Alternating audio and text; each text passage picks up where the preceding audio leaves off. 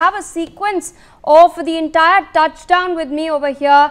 Yes, this is the moment that you can clearly see on your screens when exactly uh, the parachutes were deployed. This was captured from inside the spacecraft. Uh, this of course from outside when the parachutes had opened up and then when this is the very moment when the capsule had touched down, it had splashed down into the ocean. You can clearly see boats, three boats on the side as well headed towards the capsule. Uh, and here, this is that moment where you can see dolphins also uh, near the Dragon capsule as soon as it had uh, splashed down into the ocean.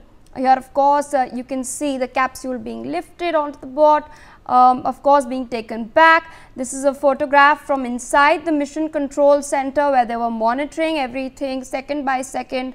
Uh, here of course the four astronauts all smiles as they returned to earth. Sunita Williams very first photograph as soon as she stepped out of the capsule she's all smiles returning back waving to the camera as well.